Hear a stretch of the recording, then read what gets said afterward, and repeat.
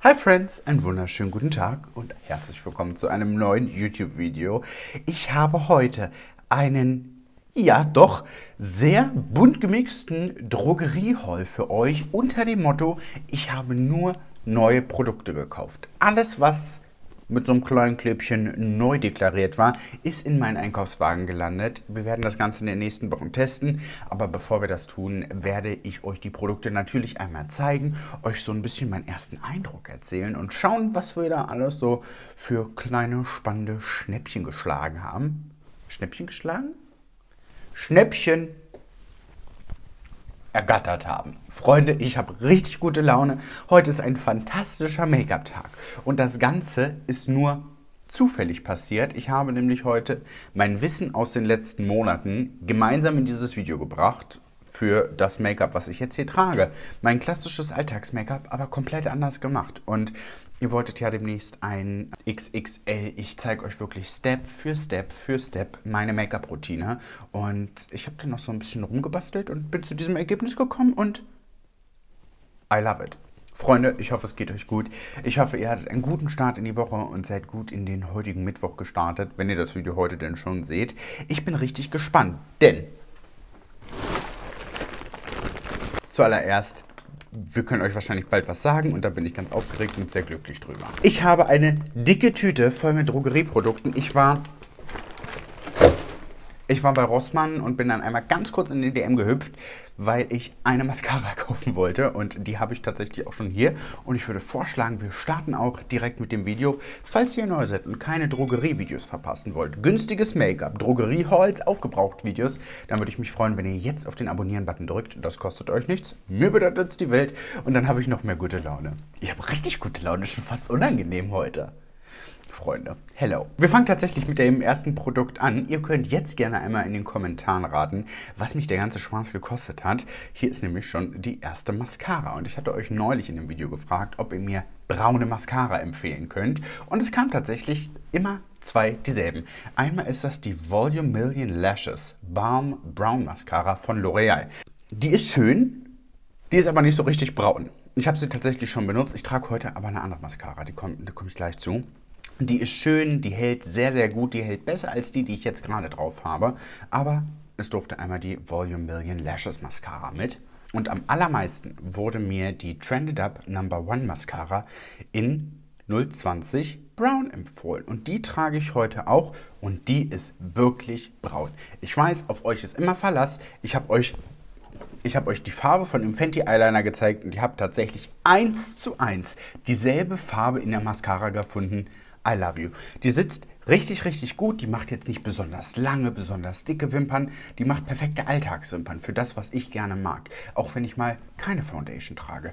Ein leichter, rötlicher Braunton, der die einzelnen Wimpern einfach nur einfärbt. Ohne Fliegenbeine, ohne alles. Sehr, sehr, sehr, sehr gut. Und dann durften ganz, ganz viele Handtücher mit. Und zwar so kleine. Ein Seiftuch heißt das. Das ist äh, von Rossmann aus der Ideenwelt. Davon habe ich mir fünf Stück mitgenommen. Das sind so kleine handliche Handtücher. Eins hat 1,19 Euro gekostet, denn ich habe festgestellt, das ist ganz verrückt. Wenn ich bei Danny bin und mich dort abends abschminke, benutze ich kein Handtuch, sondern ich benutze meistens ein Zewa-Tuch, um mein Gesicht abzutrocknen. Und ich habe das Gefühl, dass dadurch meine Haut wesentlich besser wird, wenn ich nicht in mein normales Handtuch gehe. Ich habe halt keinen Platz im Bad für ein Duschhandtuch, für ein Händehandtuch und für ein Gesichtshandtuch. Und ich nehme meistens immer dasselbe Handtuch. Und das ist natürlich A, nicht so hygienisch und B, bringt ihr Bakterien, die in diesem Handtuch sind, das ist feucht, das ist warm im Bad, in euer Gesicht wieder, obwohl ihr euer Gesicht gerade gewaschen habt. Und deswegen dachte ich mir, kaufst du dir einfach fünf von diesen kleinen Handtüchern, die fühlen sich sehr, sehr gut an und kannst jeden Tag ein frisches benutzen. Und dadurch, dass die so klein sind, habe ich dafür auch Platz. Zum Gesicht abtrocknen reicht es. Ähm, ich überlege tatsächlich, wie ich das so schön drapieren kann, aber ist ein Handtuch. Und apropos Skincare, ich freue mich, dass ich euch endlich in diesem Video sagen kann, was ich exklusiv in den letzten Monaten seit glaube seit meinem Geburtstag im Dezember schon benutze. Ich hatte euch ja erzählt, dass ich meine Skincare-Routine so ein bisschen geändert habe und auf Empfehlung von Lubella, einer ganz, ganz lieben YouTube-Kollegin, habe ich die Produkte von Jepoda getestet. Und ihr habt mit Sicherheit schon was gehört. Aber ich möchte euch gerne trotzdem vorstellen, weil ich der festen Überzeugung bin, dass wenn ihr so seid wie ich, und wir sind alle recht ähnlich, ihr nicht so viele Gedanken darüber machen wollt, wann kann ich das Serum, wann kann ich das Serum, wann kann ich dieses Produkt benutzen, in welcher Reihenfolge muss ich die Produkte benutzen, dann seid ihr bei Jepoda genau richtig. Jepoda ist eine hochwirksame koreanische Pflegelinie und ihr habt mit Sicherheit schon hier was auf YouTube von gehört. Die Produkte sind alle vegan und cruelty-free hochwertig verpackt.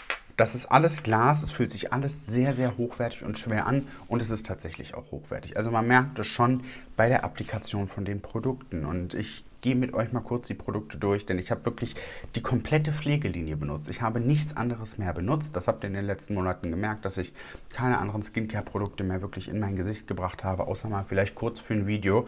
Aber für mein Skincare Regiment für meine Skincare-Reihenfolge habe ich nur noch Jepoda benutzt. Und das Coole ist, bei, auf den Produkten steht schon immer die Reihenfolge mit drauf. Wir haben hier beispielsweise den Calm Balm mit Olivenöl und Kokosnussöl. Das ist für diese typische koreanische Double Cleansing Routine. Das ist ein ölbasierter Reiniger, der in der Hand zusammen perfekt anschmilzt. Und hier steht auch schon Step Nummer 1. Ihr könnt damit das Make-up, egal was es ist, ihr könnt auch den Microfiber Multitool damit nutzen. Funktioniert fantastisch. In der Hand anschmelzen, ins Gesicht geben. Ich habe euch das Ganze immer so ein bisschen eingeblendet. Dann nehmt ihr das mit einem sauberen Tuch oder dem Microfiber Multitool wieder ab und könnt dann zum zweiten Produkt. Und ihr seht schon, ich habe mehr als die Hälfte schon draus benutzt. Das ist ein fantastischer Schaum, der ganz, ganz fein ist. Und ich habe natürlich durch meinen Job super viel Erfahrung mit verschiedenen Pflegeprodukten und vor allen Dingen diese Schäume aus der Drogerie.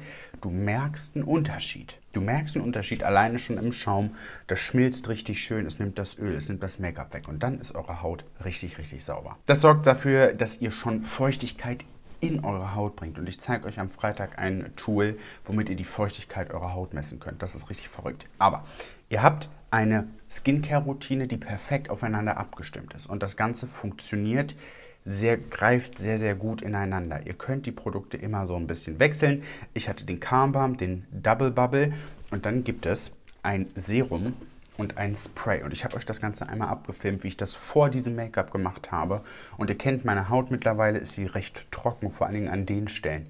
Ihr seht nichts mehr. Dieses The Mist Have ist, ohne Witz, das beste Setting Spray, was ich seit langem benutzt habe. Das ist mit Hyaluronsäure und Lavendel und sorgt dafür, dass die Haut mit Feuchtigkeit versorgt wird und ihr euch so ein bisschen entspannen könnt. Und dann gibt es den Repair Hero. Das war das einzige Serum, was ich in den letzten Wochen benutzt habe. Mit Probiotik, Niacinamid. Die Haut wird ebenmäßiger, die Haut wird glatter und mit Feuchtigkeit versorgt. Und wenn ihr das vor eurem Make-up benutzt, I swear you, ihr braucht keinen Primer mehr. Ich freue mich, dass ich auch endlich einen Code dafür habe. Ich habe jetzt wirklich sehr, sehr lange darauf gewartet, weil ich einfach die Produkte testen möchte. Ihr kennt mich, ich habe schon viele, viele Skincare-Produkte ausgesucht, aber das ist so eine Reihe, die ist solide, die funktioniert perfekt und ist aufeinander abgestimmt und sie ist halt auch sehr, sehr hochwertig. Und jetzt kommt mein kleiner Hack. Ich bin am Ende mit einem, hier, schaut mal, so ein bisschen an meinem Finger habe ich in meiner Hand verteilt und bin dann über mein Gesicht gegangen, bevor ich mein Make-up aufgetragen habe. Und durch diese Öle, Kokosnussöl, Olivenöl, wird eure Haut so glatt, dass euer Make-up perfekt drauf sitzt. Und schaut mal, ich habe keine einzelne trockene Stelle. Probiert die Sachen unbedingt mal aus. Ich habe auch einen Rabattcode bekommen, mit dem kriegt ihr 30% auf die Produkte. Ich freue mich ganz toll, dass ich jetzt mit Chipoda zusammenarbeiten darf, weil ich wirklich ein großer, großer Fan bin. Vor allen Dingen, weil die Produkte sehr, sehr zuverlässig mit Make-up funktionieren. Und das ist für mich persönlich immer sehr wichtig, wenn die Skincare eine perfekte Grundlage schafft fürs Make-up. Sign me in. I love it. Also schaut unbedingt gerne mal bei Jepoda vorbei.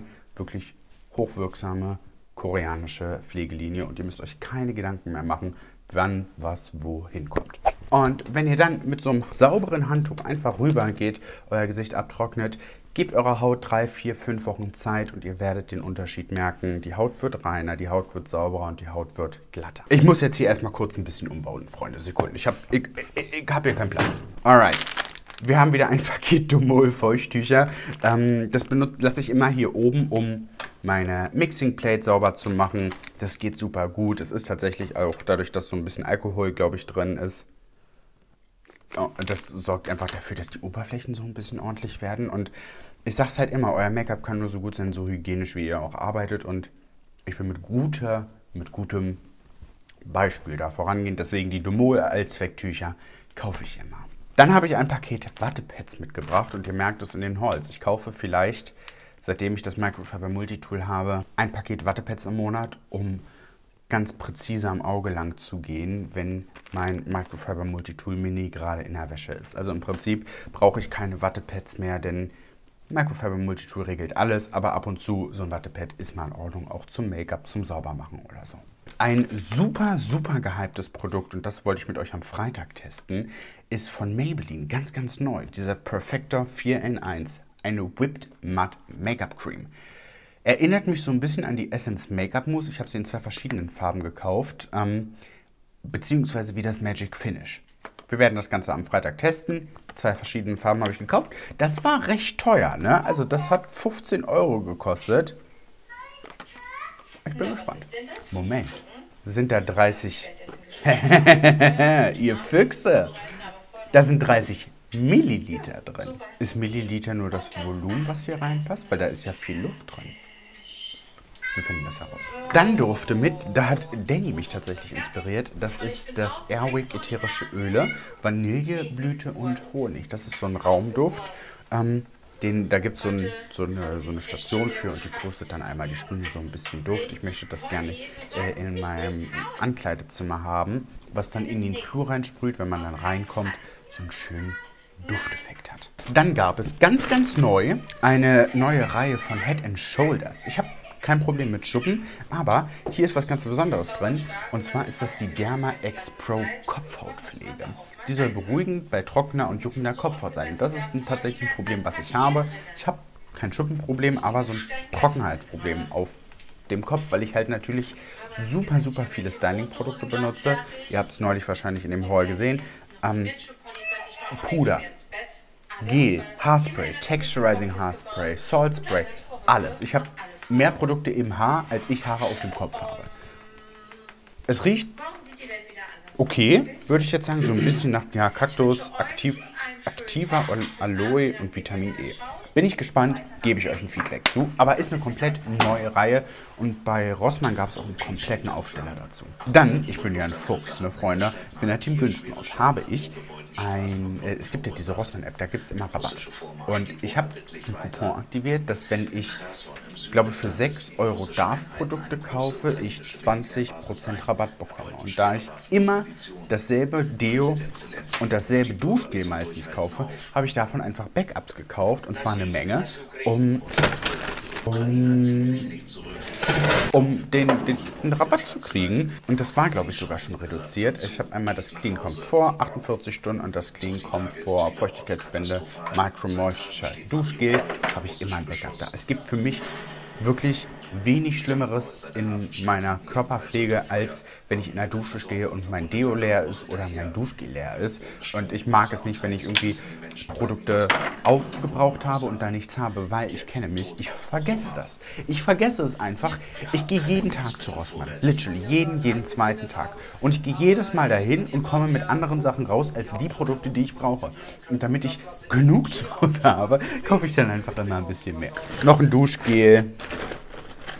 Hier ist der Beleg. Noch ein Handtuch. Sag mal, wie viele Handtücher habe ich denn gekauft? Und dann gab es neu die Isana Hydrogelmaske Triple Hyaluron. Intensive Feuchtigkeit, sofort frische Aloe Vera und Kaktusextrakt für jeden Hauttyp. Eine Rezeptur ohne Mikroplastik. Die fühlt sich extrem feucht an. Wenn ihr das schon anfasst, dann merkt ihr richtig, wie Hört ihr das? Nun gut, eine Feuchtigkeitsmaske. Dann mein dunkles Geheimnis. Ähm, es gibt eine neue Farbe und vielleicht ist das die richtige Farbe von äh, meinem Istanbul in a Bottle. Äh, kühles Braun, Magic Retouch. Oh no! Ne, so viel dazu. Ähm, ja, kühles Braun bis zu 25 Anwendungen. It's a lie, it's literally a lie. Äh, aber das ist eine neue Farbe und die könnte tatsächlich passen. Ich bin gespannt. Gebe ich euch dann im Aufgebraucht-Video in nächste Woche ein Update. Dann gab es neu von Bilou und ich bin kein Fan von Bilou-Produkten, weil mir das persönlich zu süß ist. Ich bin halt eher so, so holzig und ich gender nicht gerne Gerüche, aber ich rieche halt nicht so gerne nach einem Bonbon, sondern ich rieche halt gerne, weiß ich nicht, nach einem Holzfäller. So, man möchte es mir kaum ansehen, aber guess what? Und Bilou hat, wow, Bilou hat äh, Cherry Coco rausgebracht und das sieht einmal so aus und das kriegt Danny. Der liebt nämlich Duschschäume und ihm ist es egal, wonach es riecht. Ja, wow. Ich mag die Duschschäume gerne. Ich würde mich freuen, wenn Bilou mal einen... Oh, wow. Oh, das riecht wie Rashadi und die Kirsch- und Kokosfabrik. Sehr, sehr, sehr, sehr süß. Aber Danny wird's lieben. Danny, das ist für dich. Und die sind teuer, die Dinger. Die sind wirklich, wirklich teuer. Für ein Duschgel 5 Euro oder so. Hier haben wir nochmal die andere Farbe von dem Maybelline Perfector. Ich bin so gespannt darauf, weil, also ich kann mir vorstellen, dass es gab früher dieses Matte Mousse Make-up. Ich glaube, es gab es von Essence, es gab es auch von Maybelline in so einem Tiegel. Und das war 2010 so das Ding. Und so alle 10 Jahre kann man ein Produkt mal wieder rausbringen, aber halt anders verpackt. Und dann gibt es ja auch eine andere Generation an Leuten. Aber im Prinzip ist es wahrscheinlich das Magic Finish. Wir finden das heraus. Dann habe ich mitgenommen, da bin ich sehr gespannt, von Garnier ein Micellenreinigungswasser mit Vitamin C. Müde, unebenmäßige Haut. Entfernt Make-up und reinigt sorgfältig für Strahlen. Ohne Abwaschen.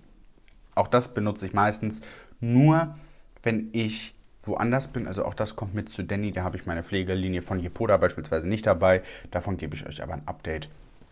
Vitamin C ist mit drin und es stand neu drauf, deswegen durfte es mit. Dann ein Produkt, dem ich jetzt knapp drei Wochen hinterhergerannt bin. Äh, Klarspüler. Mein Rossmann hatte keinen Klarspüler mehr und immer wenn ich drin war, habe ich es vergessen und jetzt habe ich dran gedacht und habe für meine Spülmaschine einen Klarspüler mitgenommen. Ich bin tatsächlich auch da eine Günstmaus. Es muss nicht das von Colgate ist Zahnpasta, wie heißt denn das? Calgonit oder so sein? Domol. Fünffach Power. Verhindert Wasserflecken. Same. Dann habe ich hier noch ein weiteres Deo und eine Lippenbutter von Isana. Die stand auf diesem neuen Aufsteller, wo vor zwei, drei Wochen diese, diese Pfirsichlinie stand. Kommt in so einem Tiegel. Und die ist fest. Ich habe ja Lippenstift drauf. Ich bin ja ein Depp. Okay, ich bin sehr, sehr, sehr, sehr doof. Eine Lippenbutter. Aber sieht gut aus.